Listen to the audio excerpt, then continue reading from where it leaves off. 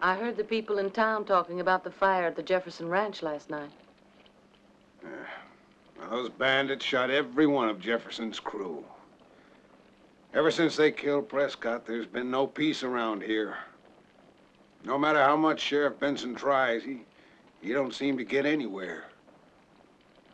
Isn't there anything we can do?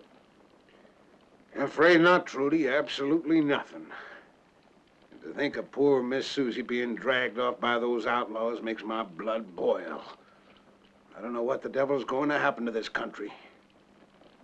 Isn't there someone who could help us out? Who? Who is it?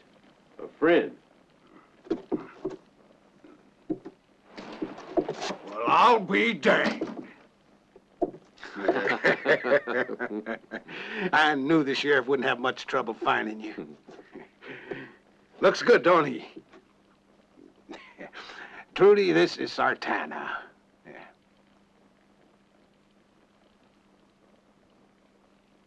Sartana.